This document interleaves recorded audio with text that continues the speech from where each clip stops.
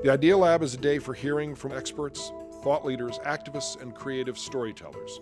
An entire day to think about big ideas and new stories. What I wanted to do is figure out a way to capture people's imagination to really understand the invisible world.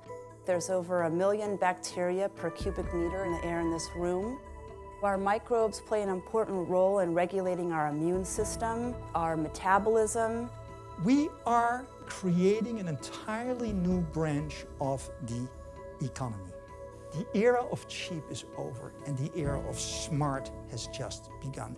The ways in which we should use design to promote a certain civic and civil sustainability. What do you think works and what doesn't work?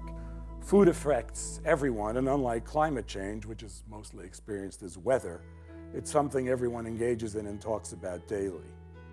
A lot of people, though they might believe in climate change, don't think that individual action could make a difference. And I'm here to try to give you a little bit of hope. I would have never known that eating a rabbit is so much better than eating a sheep, or that a sheep was as bad as an industrial cow. I would argue that cities and the mayors are going to be much more important in the next four years than the federal government. We also have the opportunity to repurpose all of the space that we're wasting on storing vehicles. It's sit 94.8% of the time. So imagine what our streets could look like. I mean, you're talking about a completely different way of life. Only one broken down Chevette on every street. Push is really rooted in the values that I believe in. That we also have the opportunity to be self-determining.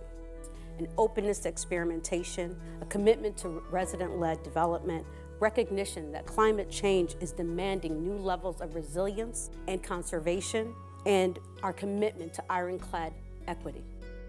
People will feel the impact of climate change most profoundly through water. One of our technologies can see into these trees and measure the amount of water in every single tree we fly over. Trees that you see here in blue are doing just fine, and trees that are in red are wicked dry and are ready for something bad, maybe a fire to break out and burn those.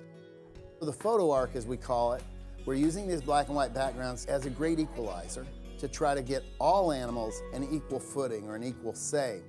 The goal is to make all creatures, great and small, valuable in people's eyes and to get people to just look animals in the eye and fall in love with them or to think that they're weird or interesting or anthropomorphic, whatever it takes to get them into the tent of conservation and get them to realize that there's value here.